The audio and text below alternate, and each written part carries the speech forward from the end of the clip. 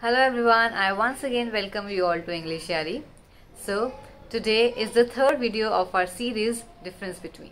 So, before jumping into the video, I would request you all to subscribe to the channel. So, आज के जो words हम use करने वाले हैं they are very common और हम बहुत often इसमें confusion करते हैं. So, the first word is accept and the spellings are A double C E P T. इसका मतलब है स्वीकार करना. I repeat A double C E P T is स्वीकार करना।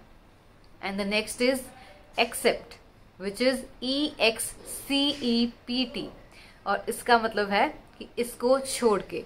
So I would give you an example I like all the ice creams except the mango flavour कि मुझे mango flavour छोड़ के सारी आइसक्रीम्स बहुत पसंद हैं।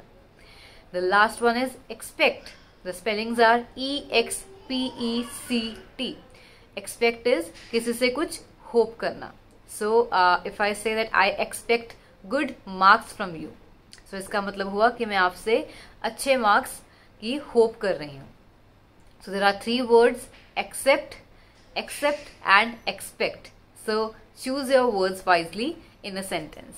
Thank you and stay tuned for more such videos. Bye.